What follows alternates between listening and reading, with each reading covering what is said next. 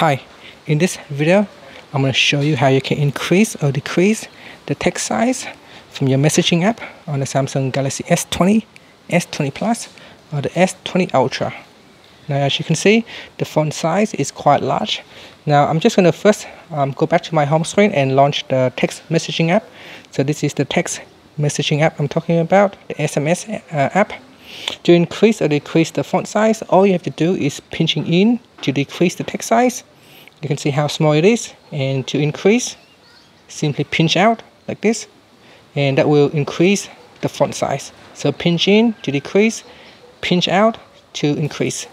And that's it. So that is how large um, the text size can be. And that's it. Thank you for watching this video uh, please subscribe to my channel for more videos.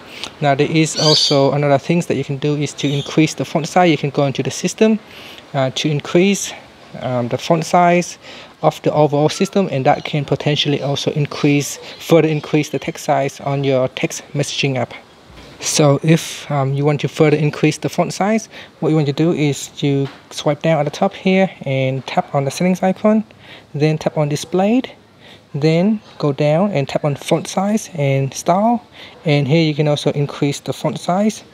And you can see but by increasing the font size here you are increasing the font size of your overall system uh, font. So what you want to do is if I go back home here and you can see in my text uh, messaging app the font uh, text size is now even um, larger than before.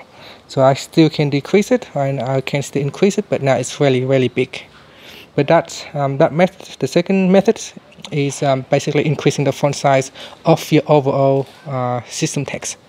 So that's it. Thank you for watching this video. Please subscribe to my channel for more videos